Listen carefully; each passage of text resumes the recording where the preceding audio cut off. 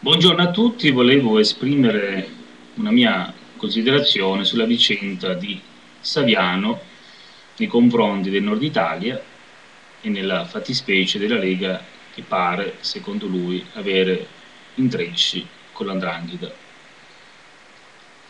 Il ragionamento di Saviano poteva essere anche intelligente, ma per certi aspetti anche ovvio, perché da quando il mondo è mondo, dove c'è grana, c'è anche infiltrazione mafiosa, quindi non ha fatto la scoperta dell'America. Però allo stesso tempo l'ho visto troppo fantasioso e che portava verso la Lega tutta la responsabilità. Io, ripeto, sono meridionale, quindi non voto per Lega, però quando ci vuole ci vuole, nel senso che bene o male bisogna essere anche chiari nel discutere di alcuni argomenti che sono molto importanti.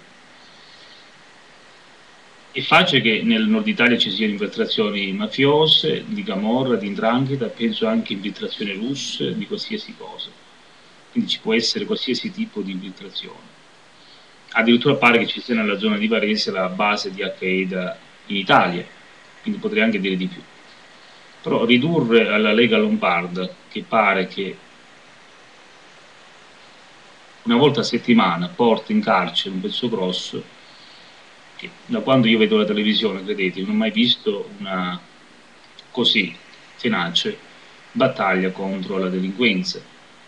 Mi pare che questo Maroni sia all'altezza di questo ministero e che sta facendo veramente delle cose importanti tra nord e sud per quanto riguarda la lotta contro la delinquenza di associazioni mafiose. Poi che ci possono essere in Lombardia degli organici, mettono le mani in alcuni appalti, è facile, ma che si possono dare alla Lega queste responsabilità oggettive mi sembra esagerato, e perlomeno fantasioso.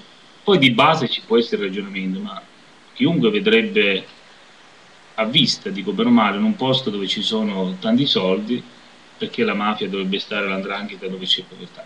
È quasi una cosa logica, no?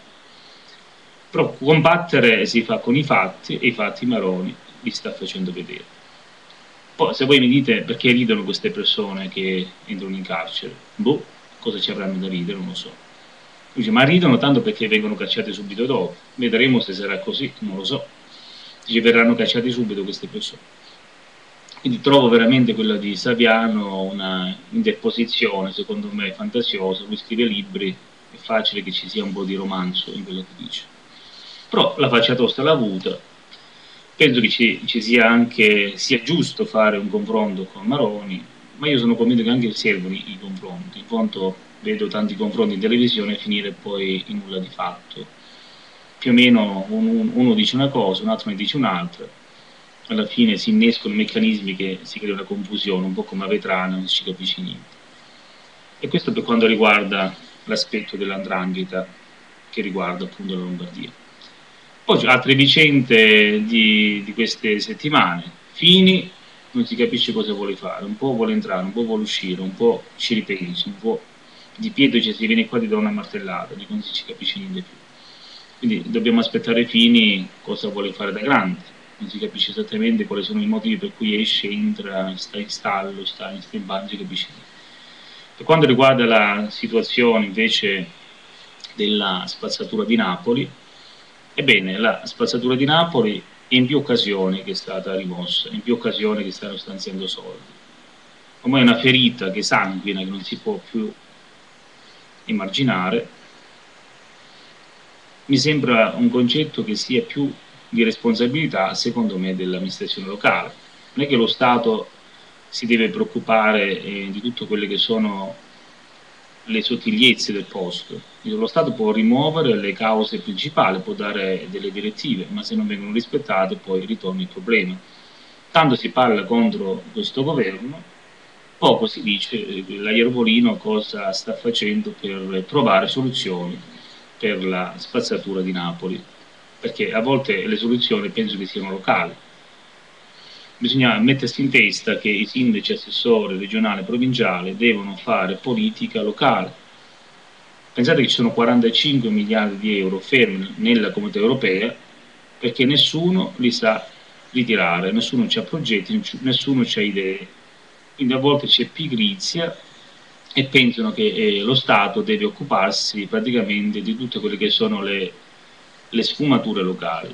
Anche sul terremoto dell'Aquila, ma mi sembra esagerato, c'è stato un terremoto della Madonna, penso che questi terremoti buttano giù tante, tante case perché penso che la responsabilità sia anche addirittura dei cittadini perché non si costruiscono case con sabbia di mare, non si costruiscono case troppo alte con cementi scadenti, a volte sono anche responsabilità anche di geometri, di assessori comunali, poi arriva un terremoto molto vasto e la colpa è sempre del governo.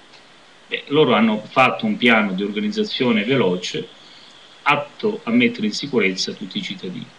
Hanno costruito delle case a tenuta sicuramente di terremoto, forse manca come si dice, l'amore che avevano prima in quel posto, perdono il contatto con la storia queste persone, però erano persone che sono state destinate ad avere questa, questo destino, come fare, atroce di perdere la casa e perdere tutto. Però non si può pretendere che il centro storico possa essere risolto dallo Stato. Lo Stato non può mantenere neanche le opere di Pompei, non può mantenere tutto il patrimonio storico che riguarda la nostra storia a livelli alti, figuriamoci se si può interessare del centro storico dell'Aquila.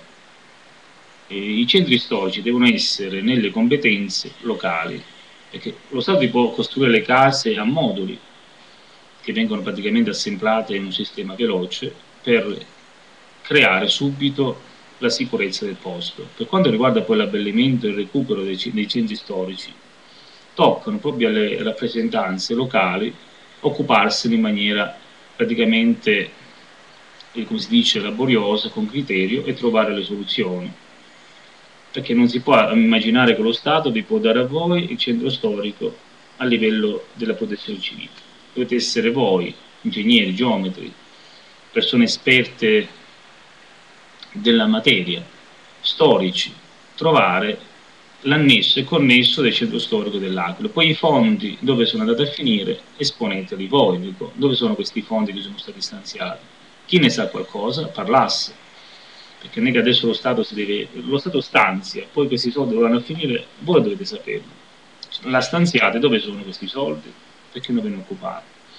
Forse dello Stato si vuole troppo, a mio parere, poco fanno le amministrazioni locali. Quanto riguarda il cinema, Beh, questi signori eh, vogliono anche loro stanziamenti per il cinema, ci sono problemi più importanti che fare le commediole. Vedo che a volte alcuni film prendono tanto successo, guadagnano milioni di euro a settimana, beh, ve li mettete da parte e ci fate i filmetti nelle prossime occasioni. Se un film ha una nota sociale, se ha delle caratteristiche che servono nella cultura, va bene, si può finanziare nella sua specialità, nella sua specifica.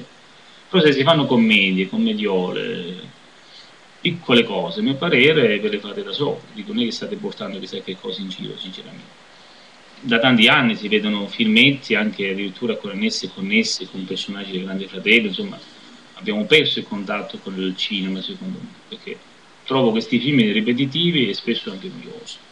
Dovete anche valutare che avete mangiato pure abbastanza. Dico, non è che adesso chi raccoglie le mandarine a 30 euro al giorno è un cretino e chi magari fa i film sia una persona più intelligente. Detto questo, cosa c'è da dire più? Penso che la situazione sia abbastanza difficile, però piangersi addosso non serve a niente. Faccio un esempio e poi finisco per il momento. Vedete il Veneto, ha subito una alluvione importante, però non stanno là tutti i giorni a lamentarsi, sono là perché c'era la cultura del lavoro, della, come si dice, del sacrificio, e si sono messi praticamente a trovare le soluzioni. Non stanno come i meridionali, sempre a piangere che qualcuno vi deve aiutare per forza. Vedete lo spunto di questo, di questo popolo che ha perso tutto e non sta tutti i giorni a piangere in televisione. In prima persona stanno cercando le, le soluzioni e ne stanno uscendo piano piano. Ecco, io penso che quando succedono le cose difficili è già un miracolo che qualcuno ci dà una mano perché capita da noi per destino, però non possiamo immaginare che noi dobbiamo essere protetti, super protetti da che cosa. Dobbiamo farci avanti noi in prima persona, le amministrazioni locali, e finirlo una volta per tutte di dare la colpa sempre allo Stato su quelle che sono le vicende, a mio parere, eh, che riguardano calamità naturali, perché le cose sono molto lunghe, riguardano sicuramente scarse amministrazioni, troppa, come si dice, speculazione, persone che hanno comunque avuto diritti di costruire dove non dovevano costruire, adesso la natura si sta prendendo tutto quello che è stato praticamente rovinato.